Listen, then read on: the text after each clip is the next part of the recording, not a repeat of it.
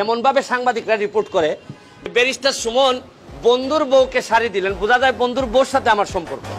মানে রিপোর্টের ভিতরটা উপরটা এরকম। রিপোর্টটা হয়েছে প্রথম আলোতে। আর প্রথম আলোর মতো পত্রিকা করার পরেই সবাই একটু মজা পাইছে, কারণ প্রথম আলোর তো একটা আস্থার জায়গা আছে। কিন্তু প্রথম আলো যে নিচে নামতে নামতে শাড়ি পর্যন্ত খোলা শুরু করছে, এটা তো আর আমরা জানি